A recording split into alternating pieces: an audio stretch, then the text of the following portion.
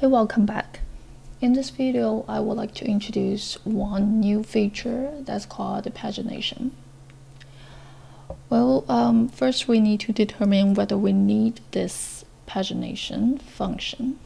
Well, um, I am going to demonstrate using a Yelp review.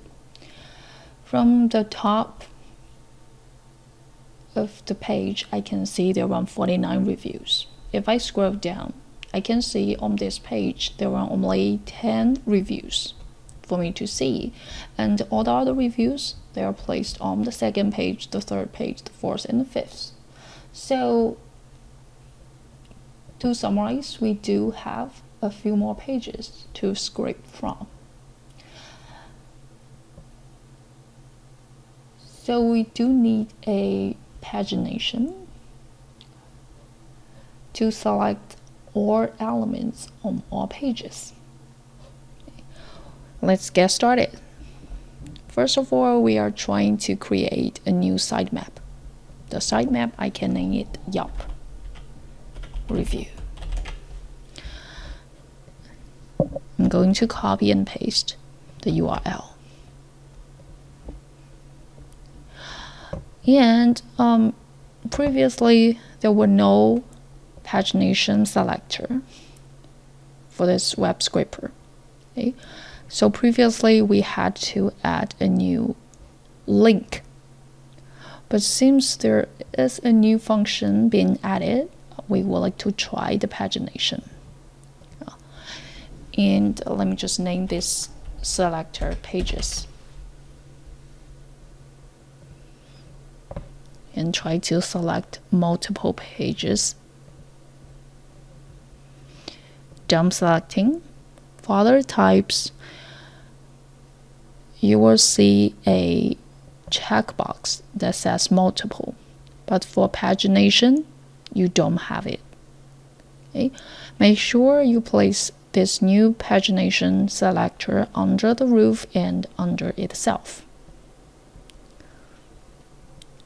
And now we are trying to create the elements. Let, let's scroll up a little bit until we hit the first record. The first record contains several information, including the reviewer, the place, the date, and also the content. Let's try to create a second selector. Let me call this container. And the type of it, let's choose element. Well, what it says is that I am going to create a box and inside the box I have other informations to scrape from. Let me place this under the root and also under the pages. Okay. Make sure it's multiple and then let me select. I would like to select the whole area. Select the second and we will see all the others are automatically selected. Let me done selecting. Save the selector. Get inside. Create new text selector this time. Scroll up a little bit until I see my first record. I go ahead and do the reviewer for the first one, I would like to know who reviewed this website, right? Select the name of the reviewer. Yeah, here we do have multiple, but since we don't have multiple reviewers within the box, let's just leave it here. Make sure it's under the container and save the selector. We would like to add one more um, for demonstration purposes, let me just add one more. That's the review.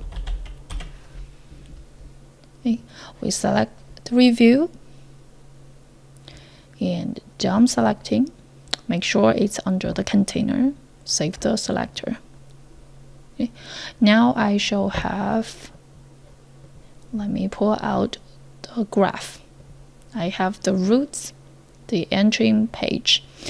I have the pages, I have the container, under the engine page. All those will be scraped. Inside the container, I have the reviewer information and also the comment. On the second page, I would like to reach out and see review information and review again.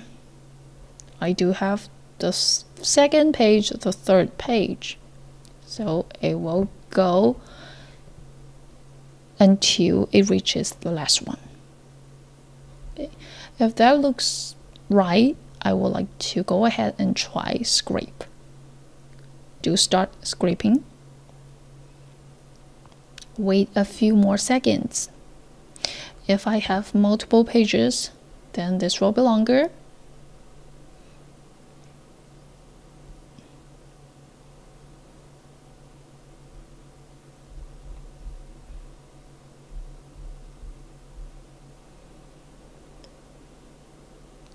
When it's done, the new window will be closed and I shall be able to click on the refresh button and see all the results. If I'm satisfied with the current results, I shall be able to export my data as a Microsoft Excel spreadsheet.